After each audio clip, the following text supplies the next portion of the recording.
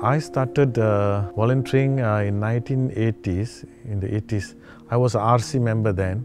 My RC chairman, uh, he recommended me to go and join. He says, Jalal, this is a good task for you. My name is Jalaluddin. I've been uh, volunteering myself in SANA for almost about more than 30 years.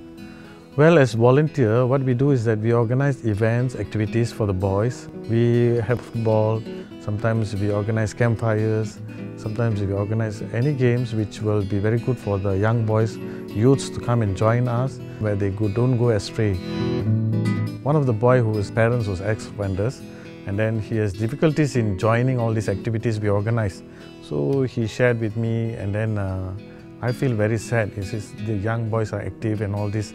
So what we did was we, you know, we waive off all the entry fee and just let them come in and join us. So it really touches my heart, you know, when these boys, uh, I feel very happy, you know, helping out this kind of boys. Yeah.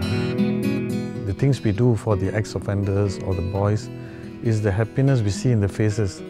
That is, that is the great reward I see as I'm getting. I am very happy. Yeah. I want you to come and join SANA, befriending the ex-drug offenders and their families for a better life.